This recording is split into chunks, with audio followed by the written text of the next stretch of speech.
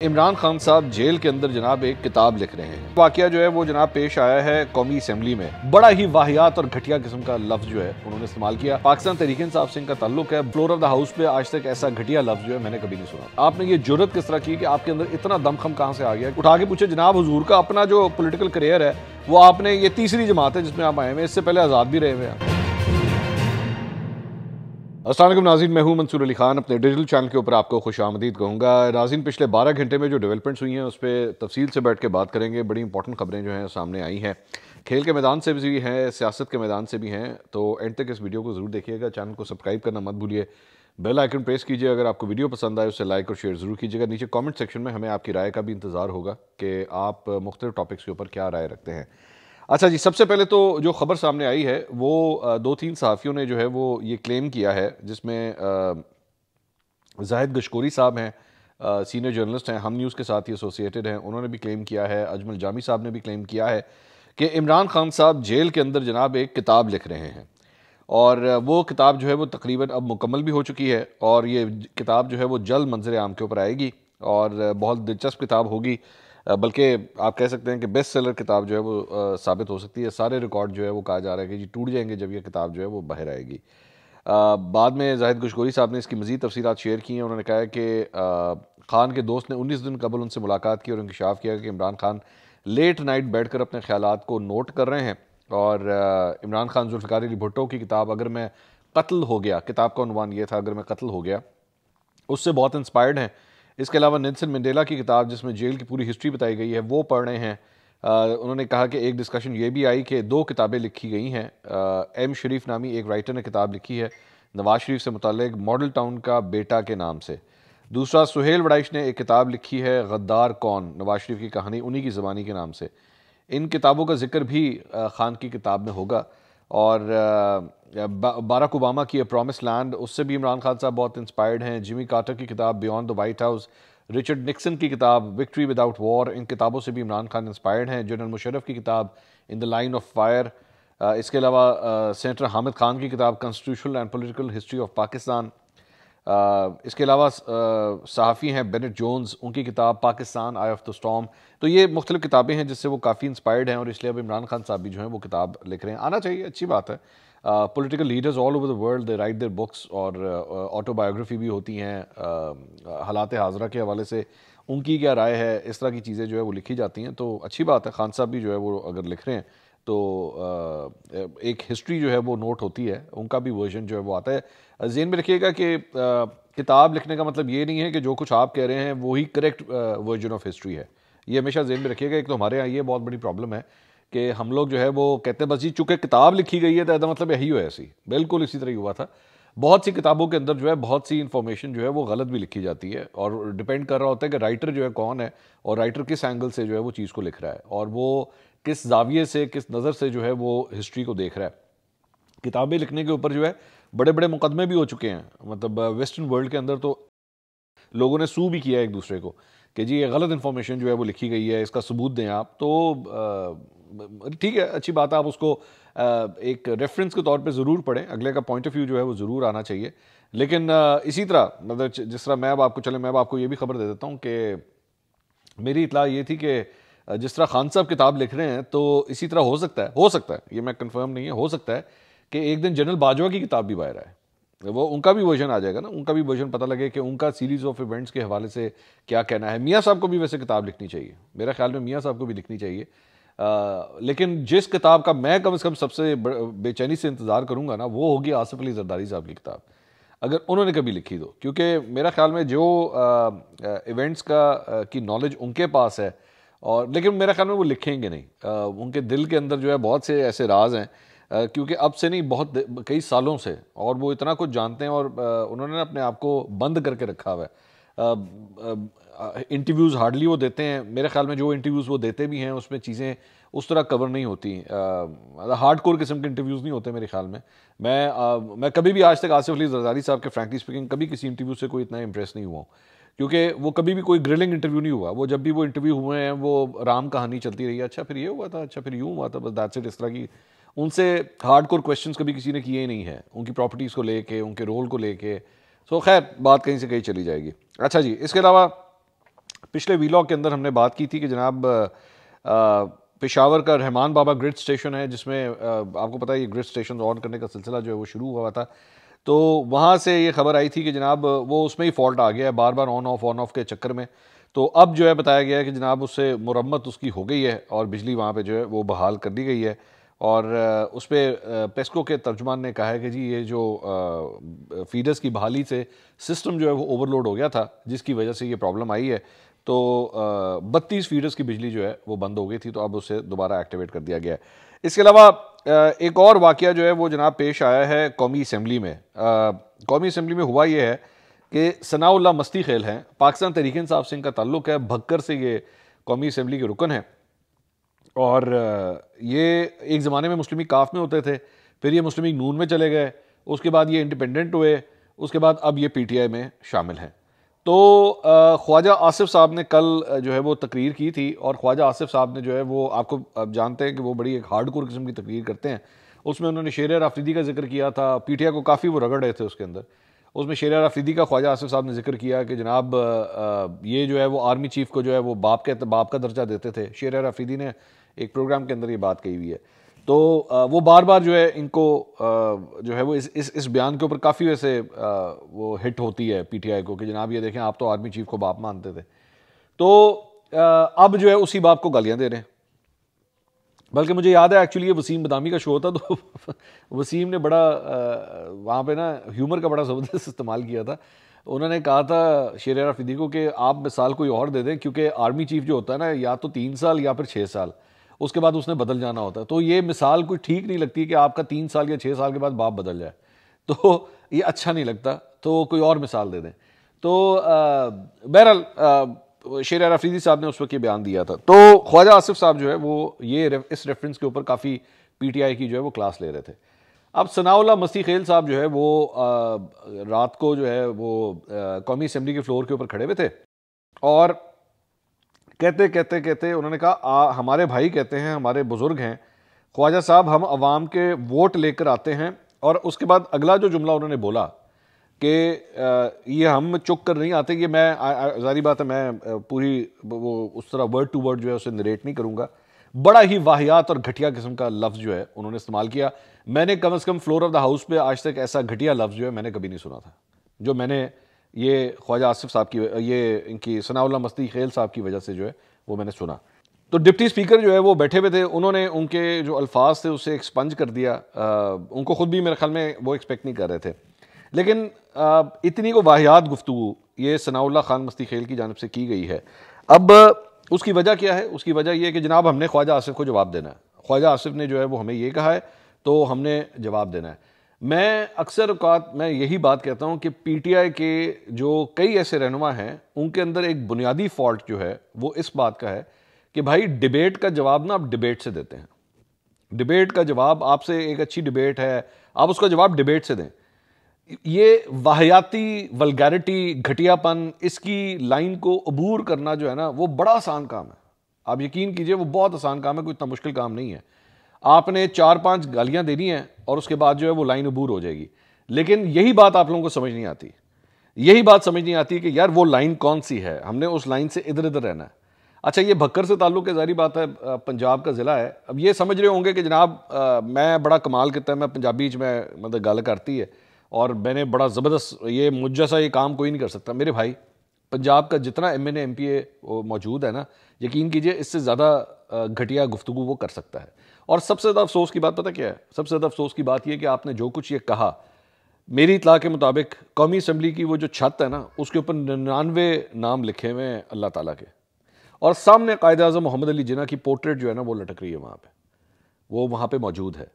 आपने ये ज़रूरत किस तरह की आपने ये ज़रूरत किस तरह की कि आपके अंदर इतना दमखम कहाँ से आ गया कि आपने ये लफ्ज़ जो है, वो इस जगह पे खड़े होकर आपको तो कोई मतलब तकदस है ही नहीं ना, आपको इस बात का तो ख्याल है ही नहीं कि आप किस जगह पे खड़े हुए ये पाकिस्तान के लिए कितनी को इंपॉर्टेंट जगह है जहाँ पे आप खड़े हुए हैं। यहाँ पे इस मुल्क के फैसले होने होते हैं। यहाँ पे इस किस्म की ये ज़बान इस्तेमाल ही नहीं की जा सकती। लेकिन और कुछ नहीं तो कम अज़ कम वो सामने एक दफ़ा तस्वीर ही देख लेनी थी कि किसकी तस्वीर सामने लटकी हुई है। ये वो तस्वीर है जिसके सामने हम आँखें नीचे करके खड़े होते हैं। ये वो तस्वीर है जिसके सामने मतलब अगर कोई पाकिस्तानी कोई गैरतमंद पाकिस्तानी होगा ना वो अगर जब खड़ा होकर देखेगा कि कायद अजम मोहम्मद अली जना की तस्वीर मेरे सामने है तो उसकी आँखों में एक शर्म एक इज़्ज़त एक हया खुद ब खुद आ जाती है। हिम्मत नहीं होती ज़रूरत नहीं होती कि वहाँ पे ना ऊँची आवाज़ में भी बात की जाए। मैं तो कम अज कम मैं अपनी जो आ, एक फीलिंग्स हैं फाउंडर ऑफ़ द नेशन के वाले से वो तो मैं मैं सिर्फ़ अपनी अपनी बात कर रहा हूँ मुझे बाकियों का नहीं पता।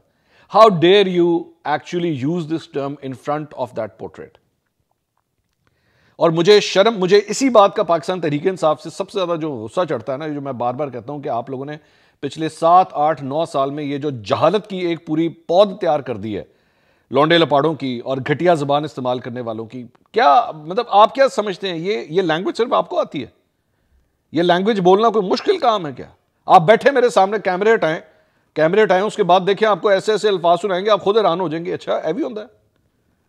लेकिन सिर्फ़ और सिर्फ़ तरबियत बीच में आ जाती है। तरबियत कहती है कि ना ना ना ना ना, ये लैंग्वेज नहीं यूज़ करनी। डिबेट करनी है ना? आप डिबेट करनी है, मैं बार बार मैं रेफरेंस देता हूँ कि 2014 के अंदर जाके एतजाज हसन साहब की जरा तकरीर उठा के देखिए। इमरान खान साहब बाहर बैठे हुए थे 126 दिन का धरना चल रहा था, अंदर हुकूमत को लाले पड़े हुए थे, एतजाज हसन साहब ने फटे उड़ा के रख दिए उनके बाद ऐसी ज़बरदस्त स्पीच की उन्होंने, हुकूमत को उड़ा के रख दिया था उस वक्त। लर्न दैट आर्ट ऐसा नहीं है कि आप लोगों के पास लोग नहीं है, बड़े ज़बरदस्त। अली मोहम्मद खान साहब की क्या स्पीच थी? मैं चले, उन्हीं उन्हीं की एग्जांपल दे देता हूँ, जो पाकिस्तान तरीके साहब असेंबली से इस्तीफे देके गए। डिबेटेबल बात है, सही था, गलत था whatever it is but his last speech excellent speech अकेला बंदा खड़ा हुआ था, लेकिन क्या उसने, उसकी पूरी तकरीर ने जो है वो कौमी असेंबली का सन्नाटा छा गया था पूरे हॉल के अंदर। यार इस पर बात करो ना भाई, अपने पॉइंट्स को इस तरह डिबेट करो। ये गंदी अच्छा मुझे सिर्फ़ एक बात है मैं सिर्फ़ एक मिनट के लिए सोच रहा हूँ, ये सनाउल्ला मस्ती खेल जो है, इसकी फैमिली नहीं देख रही होगी? फॉर एग्ज़ाम्पल इसका बच्चा, इसका खानदान, इसके घर वाले बुज़ुर्ग, वो अगर टीवी देख रहे हुए तो अब मतलब उनके ऊपर क्या असर पड़ेगा? चले, आपको शायद अपनी फैमिली का फिर भी शायद एहसास ना हो, बाकी पूरे पाकिस्तान की फैमिली जो बैठी हुई, उस वक्त पीटीवी के ऊपर आपकी ये स्पीच देख रही थी, उनके ऊपर क्या असर पड़ेगा? कि माशाल्लाह माशाल्लाह, क्या फूल झड़ते हैं जब हजूर जब बात करते हैं तो। पाकिस्तान तहरीक इंसाफ को ना अपने इस कल्चर को खत्म करने की ज़रूरत है। आप लोगों ने इतना को गंद क्रिएट करके दिया मतलब फयाजुल हसन चौहान, फिरदौस आशिक अवान शबाज गिल, एक से एक बढ़ के ऐसी ऐसी आइटम्स जो है आपने माशाल्लाह इंट्रोड्यूस कराई हैं कि वो गंदगी की हर हर जो है वो सतह को उबूर कर जाती है। और अब ये एक नई आइटम बीच में आ गई, जनाब सनाउल्ला खान, मस्ती खेल। अच्छा मस्ती खेल साहब से खुद बंदा उठा उठा के पूछे, जनाब हजूर का अपना जो पोलिटिकल करियर है, वो आपने ये तीसरी जमात है जिसमें आप आए हुए इससे पहले आज़ाद भी रहे हुए हैं तो कितना को आपका पॉलिटिकल विजन है या कितनी को पॉलिटिकल लॉयल्टी नून में भी रहे हुए हैं, काफ में भी रहे हुए हैं और अब पीटीआई के साथ है। I was shocked actually I was shocked कि मैंने क्या, ये ये जुमला मैंने वहाँ पर सुना क्या है। सीरियसली इसके अलावा जनाब सुहेल वड़ायत साहब ने जो है वो शाहजेब खानजादा के शो के अंदर गुफ्तु की। उन्होंने तजिया दिया। उन्होंने कहा, जी इस्टेबलिशमेंट की मौजूदा पॉलिसी में इमरान खान के लिए कोई लचक नहीं है। मौजूदा हुकूमत के पास नौ मई के मामले में कोई इख्तियार नहीं है। महमूद अचकजई का नवाज़ शरीफ और आसिफ जरदारी से अच्छा ताल्लुक है। महमूद अचकजई इस्टेबलिशमेंट मुखालिफ और जमहूरियत हामी सियासत करते रहे हैं। इमरान खान वाकई महमूद अचकजई को मुजाकर का मैंडेट दे देते हैं तो मुस्बत कदम है। इमरान खान के फौज से मुजाकर होते हैं तो मुजाकराती नहीं, डील होगी। मुल्क कभी भी डील से नहीं मुजाकर और मसालियत से ठीक होते हैं। सियासी जमातें डीलों से निकल कर अब मुजाकर की तरफ़ जाएँ, यही जमहूरीत का रास्ता है। इमरान खान की तरफ़ से अपने दौरे हुकूमत वाला तर्ज अमल आइंदा इख्तियार ना करने की गारंटी के बगैर सियासी जमातों के मुजाकर मुमकिन नहीं होंगे। इमरान खान अब भी मुश्किल हालात में हैं। इस्टेबलिशमेंट की मौजूदा पॉलिसी में इमरान खान के लिए कोई लचक नहीं है। अच्छा जी इसके अलावा एक और डेवलपमेंट जो है वो पाकिस्तान तहरीक साहब की एक और ख़ातून है। आ, उनके हवाले से है मिशाल यूसुफ जई।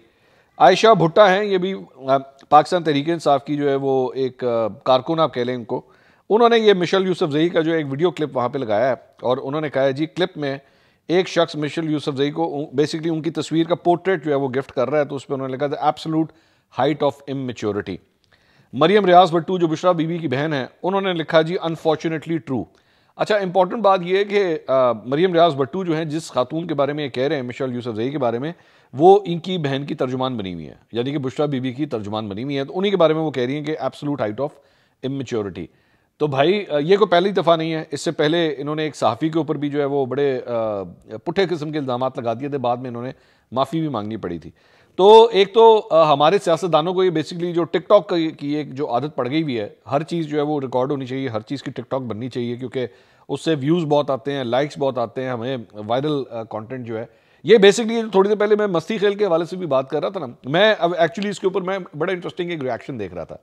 वो जितना पीटीआई का लौंडा लपाड़ा है ना वो मजाल है उसमें से। मजाल है कि मैंने हार्डली कोई देखा हो। मतलब बड़े नामों में से कि किसी ने कहा हो कि मस्ती खेल साहब you need to behave yourself किसी ने नहीं कहा। आप उठा के देख लीजिएगा, जाइए, जाके ट्विटर पे जाएँ और किसी ने भी अगर वो क्लिप वहाँ पे शेयर हुआ है ना, उसके नीचे जाके जरा कमेंट पढ़िएगा। जिस जिस प्रोफ़ाइल ने इमरान खान की तस्वीर लगाई हुई है ना, वो कहेगा आ हा हा हा छा गया मस्ती खेल। क्या ज़बरदस्त तूने बात की है? क्या जुमला तूने बोल दिया है? तूने वो जुमला बोल दिया जो पाकिस्तान की पच्चीस करोड़ आम से कोई भी नहीं बोल सकता था। कोई भी नहीं बोल सकता। किसी को आता ही नहीं था। जो तु, जो तुझे आता है जो तूने ये जो गंद बोला है ये तो कोई बोल ही नहीं सकता था। तो क्या कमाल कर दिया तूने। बड़े बड़े बड़े ज़बरदस्त। And you know this is the mindset this is the mindset that we promote over here कि you use you throw out vulgarity from your mouth और उसके बाद जो है वो एक जम्मे गफीर आएगा और आके कहेगा जी क्या बात है क्या अच्छा आ गए आप। ज़बरदस्त जनाब। मस्ती खेल आवे ही आवे। साडा मस्ती खेल क्या बात है। क्या ज़बरदस्त गंदगी बोलता है भाई। वाह कमाल कर दिया। इसके अलावा जनाब कुछ खेल के मैदान से भी खबरें जो है वो शामिल करते हैं। अब्दुल कादिर पटेल साहब, जो पाकिस्तान पीपल्स पार्टी से रुकने कौमी असम्बली उन्होंने कप्तान बाबर आज़म को एक बड़ा ज़बरदस्त मशवरा दिया है। जारी बात आप जानते हैं, बाबर आज़म जो है वो अंडर लॉट ऑफ़ प्रेशर हैं। तो अपने इजलास के दौरान, कौमी असम्बली के इजलास के दौरान खिताब करते हुए उन्होंने कहा कि अब्दुल कादिर पटेल ने, कि कौमी टीम के कप्तान बाबर आज़म को आसान मशवरा है कि वो कह दें कि उनके खिलाफ साजिश की गई है। बाबर आज़म एक ख़त लहरा दें और कह दें कि ख़त गुम हो गया है। उनकी जान छूट जाएगी। कौमी क्रिकेट टीम के कप्तान इन दोनों अमरीका में हैं। उन्होंने कहा कि मेरी बात को संजीदा लिया लिया जाए, जो कहा है वो मज़ाक में कहा है। लेकिन ऑब्वियसली ये हिट जो है वो खान साहब को लगाई जा रही थी पटेल साहब की जानब से कि जनाब आप भी एक ख़त इसी तरह का लहरा दें और उसके बाद जो है वो सब ठीक हो जाएगा। तो इसके अलावा जनाब एक्सप्रेस ने रिपोर्ट किया है कि अनफिट क्रिकेटर्स को घर का रास्ता दिखाने की तैयारी कर ली गई है। फिटनेस के तयशुदा पैमाने पर पूरा ना उतरने वाले खिलाड़ियों को मुंतब ना करने की पॉलिसी अपनाई जाएगी। हर सीरे से कबल फिटनेस टेस्ट का अहतमाम भी करने पर गौर होने लगा है। इसका इतलाक बांग्लादेश के खिलाफ सीरीज़ से ही होगा। सौ फ़ीसद फिट ना होने वाले किसी भी खिलाड़ी को टीम में नहीं लिया जाएगा। और सबक टीम डायरेक्टर मोहम्मद हफीज़ ने एक बार फिर अपने इल्ज़ाम को दोहराते हुए कहा है कि मिकी आर्थर, ग्रांट ब्रेडबर्न और बाबर आज़म ने फिटनेस को तरजीह देने का सिस्टम ख़त्म किया। मैं हैरान हूँ। मैं हैरान हूँ। मेरे लिए खबर ये क्यों इतनी हैरान कौन है कि भाई आपका मतलब इससे पहले अनफिट क्रिकेटर्स जाते नहीं साथ? अनफिट क्रिकेटर्स जो पूरी तरह फिट नहीं थे आप उनको टीम के साथ ले जाते रहे वहाँ पे साथ ये तो आ, मेरे ख्याल में एक गलती नहीं है ये जुर्म है। ये उन क्रिकेटर्स के साथ भी जुर्म है ये पाकिस्तान टीम के साथ भी जुर्म है कि आप ये काम करते रहे। इसके अलावा जनाब मोहम्मद आमिर मोहम्मद रजमान शाहीन अफरीदी अफ्तार अहमद और बाबर आज़म ने जनाब Canada global T twenty league से जो है वो माहा कर लिया है। और वैंकूवर नाइट्स की तरफ़ से जो है मोहम्मद आमिर मोहम्मद रिजवान और बाबर आज़म जो है वो खेलेंगे। शाहीन शाह अफरीदी जो है टोरंटो नेशनल्स की नुमाइंदगी करेंगे और इफ्तार अहमद जो है, वो बंगला टाइगर्स मिसिसागा, उनसे जो है, उनसे मंतखब उन्हें किया गया है। आपको याद होगा कि मैंने पहले ये बात कही थी एक दफ़ा कि मेरी एक तजवीज़ ये है कि आपने इनको अगर ठीक करना है ना तो इनकी लीगें खिलाना बंद करें। आप इनकी लीगें खिलाना बंद करें, आप देखिए फिर इनकी चीखें किस तरह निकलती हैं। कि यार आप अगर पाकिस्तान के लिए परफॉर्म करेंगे तब आपको लीग खेलने की इजाज़त दी जाएगी, वरना आपको इजाज़त नहीं मिलेगी। आप ये करके देखें, उसके बाद आप देखें कैसे सारे सीधे हो जाते हैं। क्योंकि इन्होंने नोटू छापने होते हैं वहाँ पर इन्होंने जाके वहाँ पर सारे नोटू छापने होते हैं। आप ये इजाज़त वगैरह बंद करें, उसके बाद देखें। सब परफॉर्म करना शुरू हो जाएँगे। उनको पता होगा, इधर परफॉर्म करेंगे, तभी कहानी आगे चलेगी। वसीम अक्रम, सबक कप्तान, उन्होंने भी गुफ्तु करते हुए बाबर आज़म के हवाले से कहा है कि बाबर आज़म को कप्तानी से हटाया, शाहीन अफरीदी को लेकर आए वो एक सीरीज़ आ रहे इस दौरान चेयरमैन बदले, उन्होंने कहा, कप्तान, तब्दील कर दो। और शाहीन को हटा दिया गया। दुनिया क्रिकेट में सब होने पर लोग हम पर हँसते हैं। अगर शाहीन अफरीदी को कप्तान बनाना था तो इस बच्चे को एक साल तो देना चाहिए था, फिर आप कप्तान तब्दील करते। हमसे तो ये पूछते नहीं हैं। अच्छा यह है कि हम पाकिस्तान क्रिकेट से दूर हैं। उन्होंने कहा कि Shaheen Afridi wicket taking bowler हैं। खास तौर पर नई गेंद से वो विकटें हासिल करते हैं। सबको पता है, शाहीन अफरीदी आगे गेंद या फिर यॉकर करेंगे। फिर भी वो विकेट लेते हैं। शाहीन अफरीदी जो है वो उनका मुस्तबिल रोशन है कप्तानी उन्हें दोबारा मिल जाएगी। अगर नहीं भी मिलती तो उन्हें अपनी गेम पर तोज्जो देनी चाहिए। वर्ल्ड कप के दौरान मुलाकात उनसे हुई थी आ, लेकिन कॉमेंट्री में हमारी मसरूफियात ज़्यादा होती हैं तो सिर्फ़ दुआ सलामी हो पाती है कोई ख़ास बात नहीं हुई। शोएब अख्तर ने भी जी कप्तानी के हवाले से गुफ्तु की है। उन्होंने कहा मैं पूछता हूँ कि बाबर आज़म को सबसे पहले कप्तान किसने बनाया? वैसे वो आइंस्टाइन कौन था? मैं ये जानना चाहता हूँ कि वो शख्स कौन है। क्या बाबर कौमी टीम की कप्तानी के लिए क्वालिफाई हुआ था या नहीं? क्या बाबर को कप्तान बनने के बारे में एक या दो बातें भी मालूम है? मैं कह रहा हूँ कि बाबर आज़म में कप्तानी की सलाहियत नहीं है। So by the way Shoaib Akhtar भी खुद कभी कप्तान नहीं रहे हुए। मतलब मैं वैसी जस्ट एज ए रेफरेंस में बात कर रहा हूँ। अगली वीडियो में आपसे दोबारा मुलाकात होगी। अल्लाह हाफिज़।